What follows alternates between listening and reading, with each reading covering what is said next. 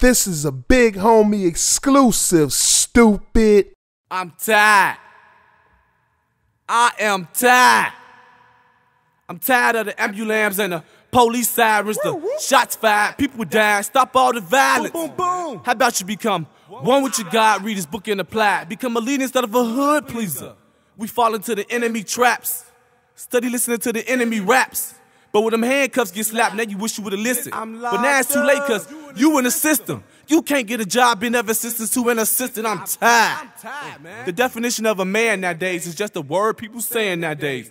Don't take responsibilities and stand nowadays, and there's no man of God, so ain't no praying nowadays. I'm tired. So quick to run and pick up a gun and Hey, run bro. into another one, bro, something that have nothing to do with nothing. So y'all form a team and cause a brutal killing, or a B team to someone who had plans on graduating Team, who's only 18. I'm tired. How about you put the gun down and fight like men? But you can't cause you scared. You ain't tough, you fit the image. Skinny jeans with dreads. But you can't let people know so no fighting. You just shoot them dead when you try to. But you really ain't getting nothing to prove. And he say, yes, I do.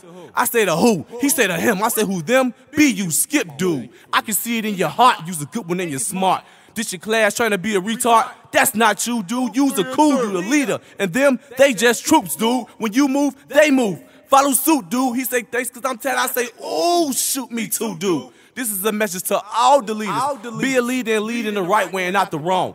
Anyone can do wrong, but to live right is hard. Take the challenge, cause we're tired. I'm tired too.